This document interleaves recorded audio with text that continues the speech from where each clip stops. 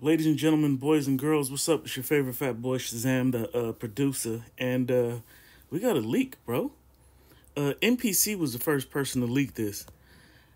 They leaked it in their own video when they did the MPC stems, because you notice you see it's a red MPC and that ain't an MPC one, because it's got menu buttons right up under the screen. MPC one ain't got it, and this is what you've seen.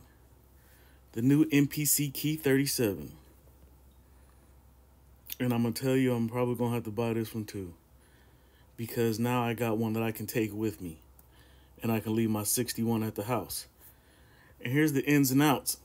So, you know, you got your uh, expression pedal, your um, FS2 pedal, your sustain pedal, your MIDI in and out, your CV gate. You got your phones, you got two ins for your um, input, two mains for your output, you got a record level, you got an SD card.